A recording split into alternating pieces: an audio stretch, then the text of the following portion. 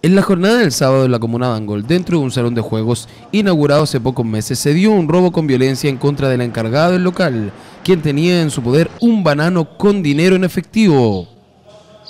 Día sábado, aproximadamente a las 21 horas, una pareja, un hombre y una mujer, participaban y jugaban en las máquinas tragamonedas del recinto que está asociado y cercano a, nuestra ciudad, Ganangol. Estaban jugando y luego de haber ganado una cantidad de dinero de 5 mil pesos, van, solicitan el premio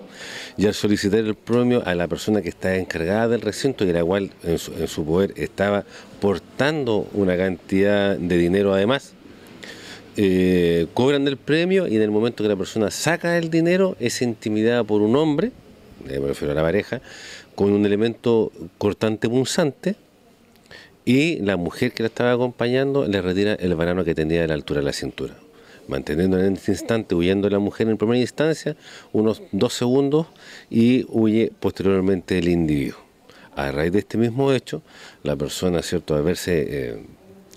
involucrada en esta situación o consternada respecto a lo mismo, llama personal al nivel 133, se constituye personal de carabineros y, y inician las primeras diligencias estableciendo la detención en primera instancia de la mujer quien en forma voluntaria empieza a narrar los hechos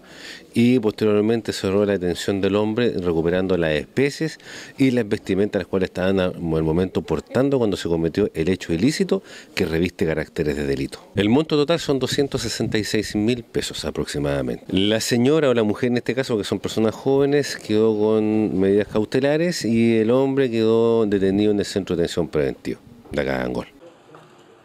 Estas personas fueron detenidas a los pocos minutos de haber realizado el hecho delictual y fueron dejadas a disposición del tribunal para que en la jornada de este lunes fueran formalizadas y quedaran con las medidas cautelares correspondientes.